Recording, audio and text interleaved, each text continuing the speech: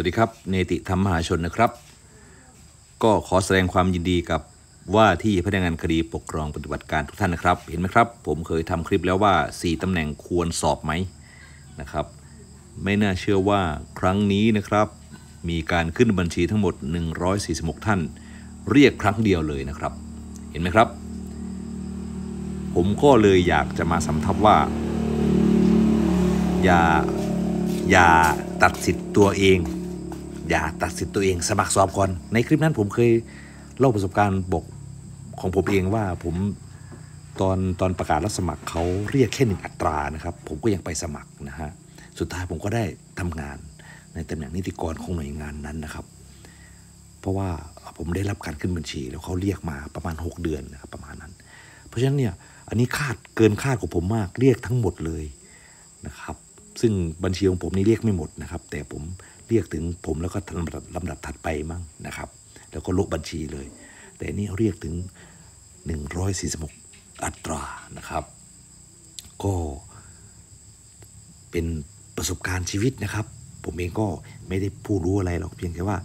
ผ่านอะไรมาเยอะแยะ จากคนที่ไม่มีอะไรเลยนะก็เลยมาเล่าสู่ฟังว่าผมสู้ชีวิตยังไงนะครับ เพราะฉะนั้นผมจะไม่ปฏิเสธ สิทธิ์ตัวเองนะครับให้เขาตัดสิทธิ์เราเองดีกว่า เราไม่มีคุณสมบัติโอเคยอมรับ เราไม่มีความรู้ความสามารถพอยอมรับ แต่เราอย่าเพิ่งไปบอกว่าเฮ้ยฉันฉันฉันสอบไม่ได้หรอก ที่พูดมาเนี่ยไม่ได้ต้องการที่จะอะไรนะครับ เพียงแต่ว่าเป็นประสบการณ์ให้เราเป็นหลักคิดในการใช้ชีวิตนำไปประยุกต์กับใช้เรื่องอื่นด้วยนะครับ สิ่งที่มันผ่านไปแล้วก็ผ่านไปนะครับ เราตัดสินใจผิดพลาด ผมก็ยังมอง ยังยังยังยังคงใช้หลักการเดิมนะครับว่า มันดีที่สุดนะตอนตัดสินใจครั้นั้นแล้ว อย่าเอาความรู้หรือประสบการณ์ในในปัจจุบันนะครับ ไปตัดสินอดีตนะครับ เพราะ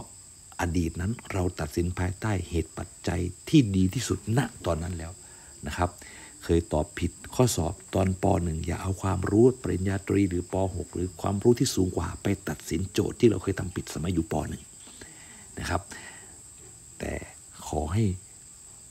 รู้ไว้ว่านะฮะหลักการนี้ก็คือว่าเริ่มต้นด้วยคำว่าไม่อะไรก็ไม่สำเร็จ ที่สำคัญอย่าไปไม่กับตัวเอง ภาษาพระเรียกว่าอย่าไปมีนิวรณ์หนึ่งในนิวรณ์ห้านะครับก็คือเอเอเห็นว่าเห็นตัวเองว่าเฮ้ยเราไม่มีความเหมาะสมอย่างเงี้ยนะครับ เป็นนิวรณ์อย่างหนึ่งนะครับ เพราะฉะนั้นก็อยากจะให้เป็นอุทาหรณ์นะครับ สอบไม่สอบนี่สอบเลย ถ้าท่านอยากเป็นนะสอบเลยนะครับ ถ้าท่านอยากเป็นอยากได้สอบเลย อ่านหนังสือมาหนึ่งไปสอบเลยครับ โอกาสมันไม่มีนะครับ โอกาสมันไม่มี โอกาสเนี่ยมันเป็นเรื่องที่เราไม่ได้สร้างเองนะโดยมากแล้วเนี่ยนะครับ เราทำได้เพียงแค่หาวิธีการที่ถูกต้อง แล้วก็ขยันครับ การเปิดสอบมันเป็นเรื่องของโอกาสครับ ผมเคยพูดทุกคลิปเลยนะครับ ถ้าท่านฟังติดตามคลิปเป็น FC แต่แท้จริงแล้วเนี่ยว่าเอ่อเราเรียกว่าอะไรเราไม่รู้หรอกว่าเรารู้หรือเปล่าที่เขาถามนะนะครับ เรารู้หรือเปล่าที่เขาถามนะนะครับ เรารู้หรือเปล่าที่เขาถามนะนะและเราไม่รู้ว่าเขาจะถามอะไร คนที่จะตัดสินใจหรือบอกเราว่าสอบได้หรือสอบไม่ได้ก็คือข้อสอบในนะในเวลานั้น ผมเรียนนีนะครับสองปีครึ่งนะสองปีกับอีกหนึ่งเทอมผมไปสอบทุกครั้งครับ ถึงแม้ผมไม่มีเงิน กลับมาผมไม่มีเงินแม้แต่ จะจะกินข้าวที่มันปกติ ผมต้องห่อข้าวอะพูดง่ายๆไปไม่กินตามร้านไม่ได้ ผมกลับมา ผมต้องไปกินข้าวที่ตัวเองห่อ ไปจากห้องพักไปกินที่ทำงาน เพื่อเพราะว่าตอนไปสอบอะผมใช้เงินแบบแบบแบบไม่ประหยัดนะซื้อแบรนด์ซื้ออะไรมาบำรุงนะครับ เพราะฉะนั้นเนี่ยถึงแม้ว่าตัวเองจะอ่านหนังสืออะไรมาระดับหนึ่งแต่ก็ไม่มั่นใจหรอกปรากฏว่าไปห้องสอบปุ๊บมันมันผุดขึ้นมาไง เพราะฉะนั้นนะครับก็ขอให้เป็นกำลังใจทุกท่านนะครับ แล้วก็เป็นอุทาหรณ์ในการ ดำเนินชีวิตด้วยนี้นั้นว่าเริ่มต้นด้วยคำว่าไม่อะไรก็ไม่สำเร็จ อย่าดูถูกตัวเองครับ อย่าดูถูกตัวเองแล้วก็แล้วไปครับที่ผ่านมาแล้วไป เราผิดพลาดตรงไหนอะไรยังไงแล้วไปครับ สิ่งที่เหลืออยู่ย่อมสำคัญกว่าสิ่งที่หมดไปนะครับ ผมให้กำลังใจทุกท่าน จากผมที่เคยไม่มีอะไรนะไม่มีอะไรทั้งความรู้เท่าไหร่นะแต่ผมมีอย่างเดียวก็คือหลักคิดที่อยู่ภายใน แล้วก็สอนให้ตัวเองเดินก้าวต่อไป แต่ก็ไม่ใช่คนที่ดีเด่นอะไรนักหนา แต่หลักคิดผมเป็นอย่างนี้นะซึ่งอาจจะผิดก็ได้ แต่ผมมองว่าไม่น่าจะผิดเพราะมันนำพาชีวิตผมมาประกอบอาชีพที่ผมรักและพอพอใจได้นะครับ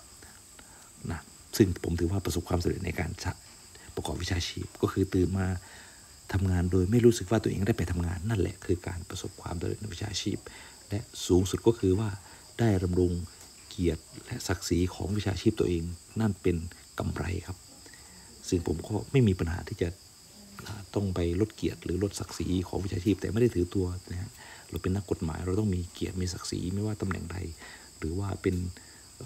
ประกอบอาชีพอิสระที่เป็นทนายความนะก็มีเกียรติศักดิ์ศรีของทนายความเหมือนกันนะครับ เพราะฉะนั้นอยู่ที่การครองตนมากกว่านะความสำเร็จในวิชาชีพ ไม่ใช่ตำแหน่ง ไม่ใช่ระดับนะครับ ไม่ใช่ ระดับอาชีพหรืออะไรก็แล้วแต่นะครับ ขอให้เลี้ยงชีพตัวเองชอบ